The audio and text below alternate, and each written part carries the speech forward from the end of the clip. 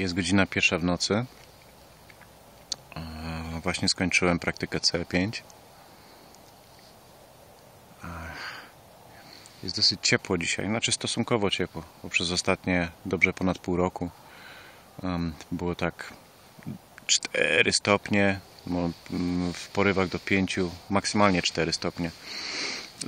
Zwykle, było zimniej trakcie zimy, chociaż tutaj nie, ma, nie było takiej bardzo, bardzo mocnej zimy i były przemrozki. Także jest dosyć przyjemnie, jest czyste niebo, chociaż pogoda jest zwariowana.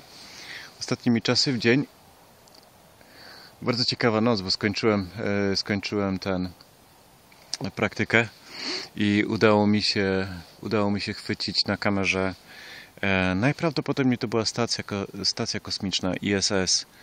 Tak mi się wydaje, bo była bardzo jasna, bardzo jasna. Była, była jaśniejsza niż, niż, niż najjaśniejsze gwiazdy albo planety. Czyli musiało to być coś dużo większego niż satelita. A później, tak 90 stopni do tego, e, przelatawały Starlinki. Bardzo śmiesznie to wygląda. Jak taka ogromna ilość tych satelit przelatuje tak w jednym, w jednym rządku.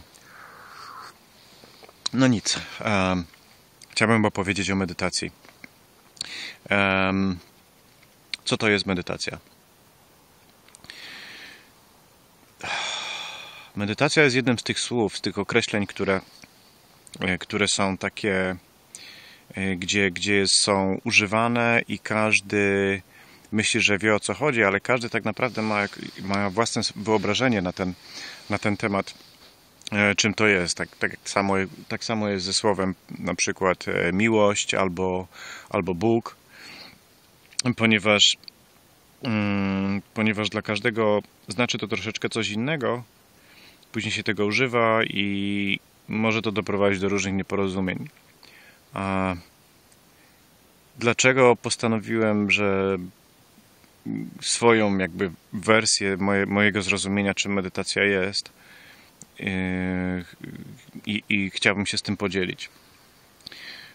Troszeczkę opowiem dlaczego. No, opowiem o moim backgroundzie i o moich doświadczeniach z tym. Mam troszkę ponad 30 lat doświadczenia w medytacji. Zaczęło się to od tego, że jako 19-latek zacząłem Tai Chi i tam były moje pierwsze, pierwsze kontakty z Qigongiem, z pracowaniem z wewnętrznymi energiami, z medytacją. Później po 8 latach, po 7 latach, bo no, po 7 latach. 8 lat kung fu, ale 7 lat y, tai chi. W międzyczasie jakąś jogę jeszcze robiłem przez jakieś 2 lata. E, Później e, przez prawie 20 lat byłem e, buddystą, buddyzmu dia- diamentowej drogi, buddyzmu tybetańskiego. Później na pewno dużo mi, bardzo dużo pomogło mi doświadczenie śmierci klinicznej e, w 2017 roku. Kiedy stało się to, co się stało, wylądowałem na intensywnej terapii i była taka sytuacja, że lekarz decydował, że, że po prostu, że uśpiał mnie na 3 dni, czy na ile tam się uda. W trakcie tego procesu udało mi się wyskoczyć całkowicie z ciała, czyli po prostu umrzeć i wrócić e, dwa razy. Ale też, e, co ciekawe, przez te, przez te trzy dni ja powinienem być całkowicie poza ciałem, natomiast ja cały czas wracałem do tego ciała. Wracałem co od 3 do 5 godzin, co, co 3, co 5 godzin wracałem. Skąd to wiem? Bo, bo pamiętam, że był taki dość duży zegar e, na, na, dokładnie naprzeciwko jak leżałem w łóżku i ten zegar był razem z datownikiem, także była data i godzina. I było śmieszne, bo wracałem i widziałem ten zegar.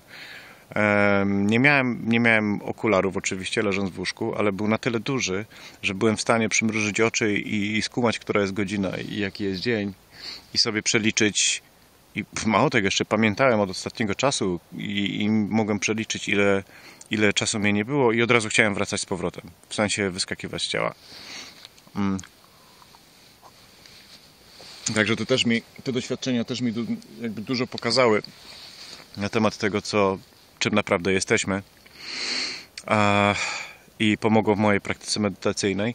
Plus oczywiście w taki sposób, jak dr Greer uczy medytacji i czym medytacja jest, czym jest kontakt CE5 e, z cywilizacjami pozaziemskimi, z istotami pozaziemskimi.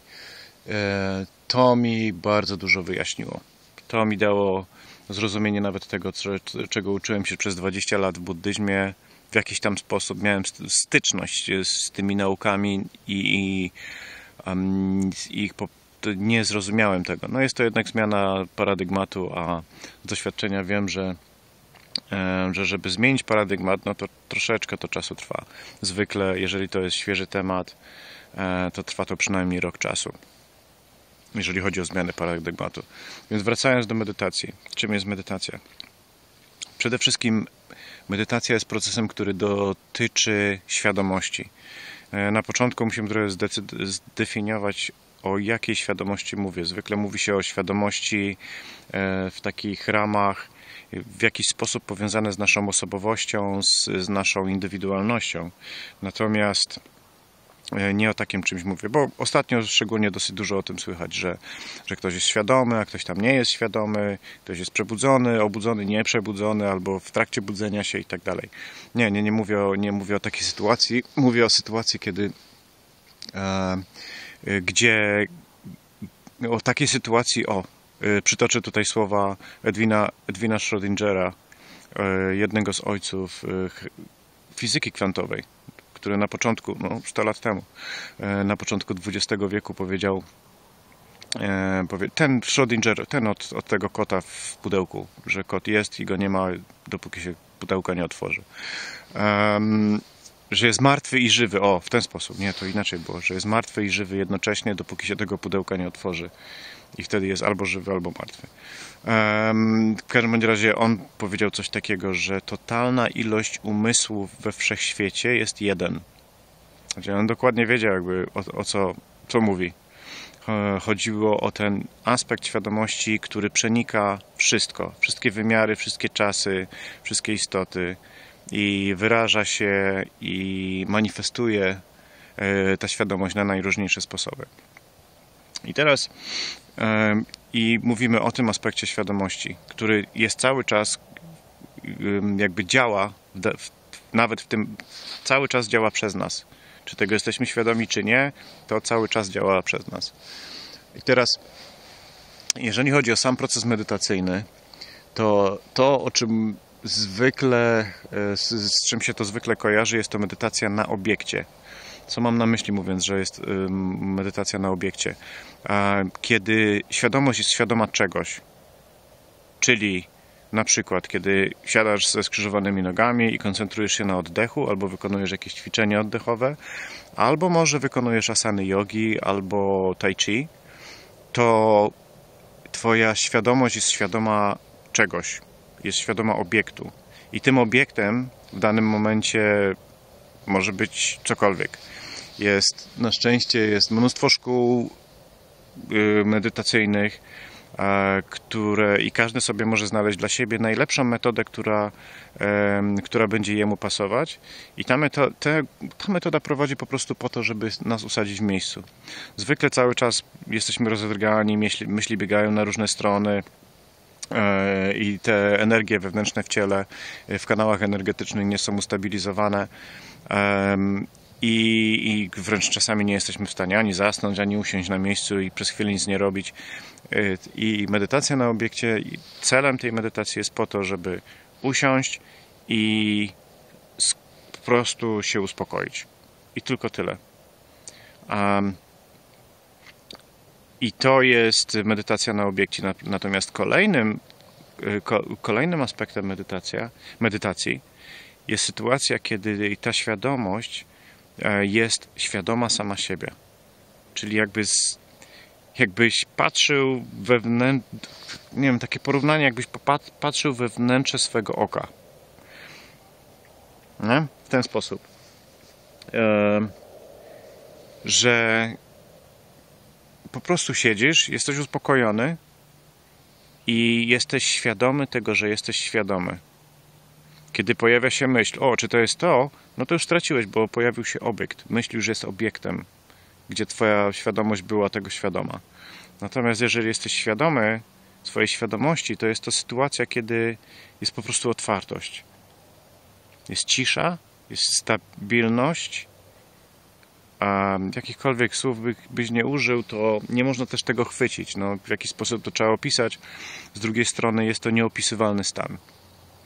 Tilopa do swojego ucznia e, Naropy, o, mówię to teraz o buddyzmie, o buddyzmie tybetańskim i o naukach Mahamudry, a na samym początku, jak pierwszy wers, e, wers e, brzmiał, że Mahamudra nie może być nauczana Naropo.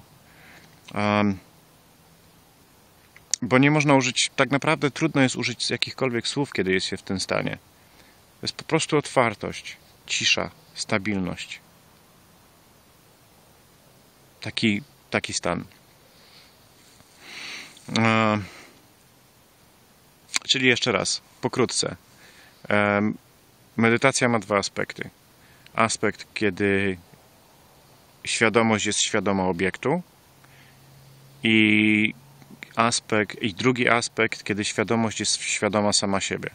I w pierwszym przypadku, kiedy świadomość jest świadoma obiektu medytacyjnego, tym obiektem medytacyjnym może być oddech, może być ruch ciała, to może być, e, może być e, płomień świecy, e, czy, czy, czy przemieszczające się energie gdzieś w ciele, czy na przykład koncentracja na sercu, cokolwiek, co lepiej są różni ludzie, dla różnych, dla jednego będzie bardzo dobra medytacja na oddechu, dla kogoś innego bardzo dobre będzie um, będzie e, wykonywanie na przykład asan czy e, jogi. Na szczęście na szczęście jest o, ale piękny przeleciał. Wow. E, na szczęście jest. E, ciekawe, czy się złapało na kamerze. Zobaczymy. E, na szczęście jest mnóstwo szkół medytacyjnych i, i każdy może znaleźć coś dla siebie. Na przykład, ale natomiast ten drugi aspekt, kiedy, kiedy świadomość jest świadoma sama siebie, to wtedy doświadczamy tego, kim naprawdę jesteśmy. Nasza osobowość jest jak, jak strumień, jak prąd w, w oceanie. Jest nieoddzielny od oceanu, natomiast jest w pewien sposób indywidualny. Więc kiedy doświadczamy swojej świadomości, to jesteśmy jakby całym oceanem. Kiedy doświadczamy, kiedy jesteśmy sob, jakby sobą, e, to stajemy się tym strumieniem, indywidualnym strumieniem. Natomiast, co ciekawe, później możemy doświadczać, kiedy się już ustabilizujemy w tym, e, w tym doświadczeniu, e, kiedy świadomość jest świadoma sama siebie, jednocześnie możemy być w obu stanach naraz. Ale na ten temat nagram, nagram inne, inne wideo. No i, no i może to by było na tyle. Dzięki.